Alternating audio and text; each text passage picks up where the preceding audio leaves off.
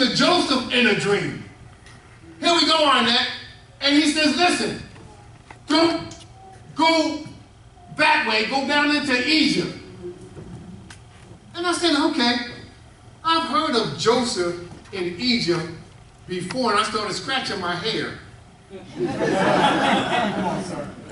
Did you know that God repeats himself? Yes. Come on. Yes. Come on, Doc. Yes. But this ain't the same Joseph that was in Egypt There you go. when Pharaoh was on the throne. This is the Joseph with the baby Jesus, who is now the king on the throne. And in their journey down into Egypt, they would need providential care to carry them. Watch this. And God said until Herod dies. When that king dies, this king Jesus will take the throne, but you're going to need gold, you're going to need frankincense, and you're going to need myrrh to keep you in Egypt Whoa. while you wait for this King Herod to die. Ah. When you're looking for the king, God will provide. Yes, he will. Yes, he will. I kept wondering what those things were for. Everybody kept breaking it down in, in my, my, my, my, commentaries and, and, and theological theses, and I kept looking and I kept looking at, but what would Jesus do with that stuff? It's for their care in Egypt. Wow. So the question is, who's on my throne? And perhaps maybe the reason why the baby Jesus, who's all grown up now, That's right. That's right. he's a big boy. Watch this. He's coming back. Hallelujah. Just like they were looking for Messiah. Watch this, Arnett. God repeats himself.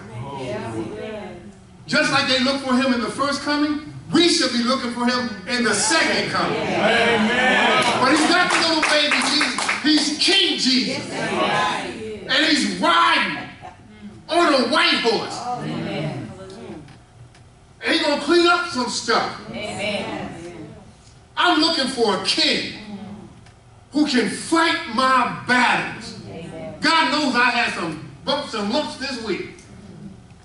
But I I got to this text, I, could- I got excited.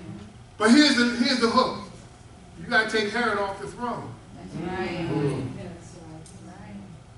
Two kings won't rule That's right. at the same time. Amen. Herod must come off my throne. Amen. I gotta wait till he die. I'm gonna kill him. You don't have to wait, take him off. And look for the real king. Jesus. He wants to fight our battles. He rules and he reigns. And I'm gonna leave you with this, and I'm out.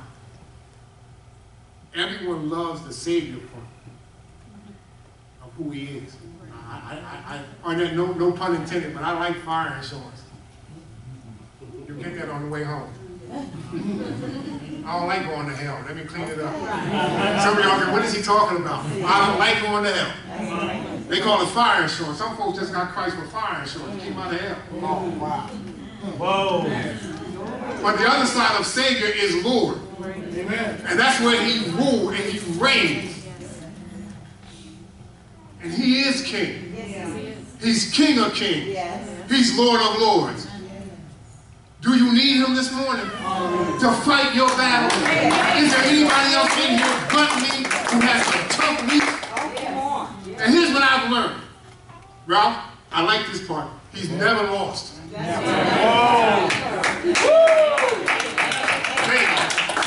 never lost. Ever. Ever. I said it before. No one remembers who's finished second. But they do remember the champ. This king is able to wipe all tears. This king can hold you in the middle of the night. This king has answers to our problems. Not like King Herod. This morning, looking for a king. All eyes closed, all bowed. We're going to open up the doors of the church. And someone here, under the sound of my voice, may be sitting on their own throne. Watch this. And you realize that your reign and your rule hasn't gotten you anywhere. Now let's be honest. It wasn't until we made the change, a lot of us have had Herod in us, and we decided to make the change and put Jesus on the throne.